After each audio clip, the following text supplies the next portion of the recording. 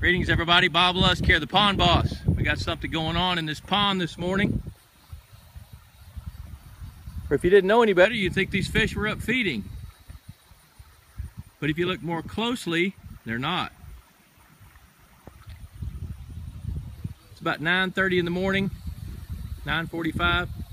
These fish are showing signs of an oxygen depletion. See how they're kind of coming up to the top? They're actually gasping for air. So there's a wind-driven aeration system out here, and the wind just started to kick in and started to aerate a little bit, but the water's really green, it's real fertile.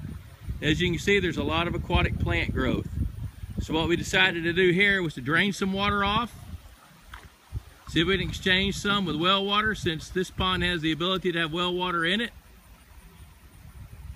We're gonna get rid of some of this more stagnant looking water and give these fish a much better chance. So if you see fish coming up to the top, like what you see in this video, they're gasping for air, and they're suffocating, especially if you see it in the morning. Actually, if you see it anytime, but most dominant in the morning.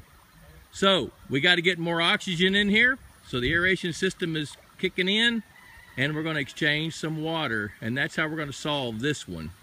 The better solution is don't let a pond get overcrowded and don't let it get too heavy of a plankton bloom and manage your aquatic plants.